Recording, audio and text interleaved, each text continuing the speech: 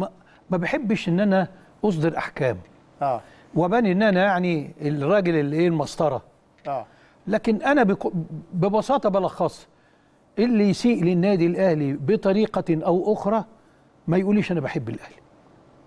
امم اعمل اللي أنت عايزه وقول اللي أنت عايزه وانقذ زي ما أنت عايز و و و المهم لو في نهاية الليلة محدش ياخد كلامك عشان يسيء للنادي الأهلي بيه وفي فرق بين الإساءة وبين ان أنت بتقول رأي. آه رأيك رايي ان ان لا مش حسام اللي يمشي بصراحة بقى يا جماعة آه ده هو اولى ان يقعد من فلان ده رأي. رأيك برضه. ده رأي أيوة، من غير. زعل أيوة. لكن من غير ما تقول أصل الأهلي كده بيتبع حسام هنا لا ده مش رأي امم فاهم الفرق. بين الاثنين آه ده دي دي اللي بتتاخد وبتساب الثانية وبيتروج لها آه. الصورة الذهنية اللي انت عايز تستطيعها على النادي الأهلي في الآخر ده والدك.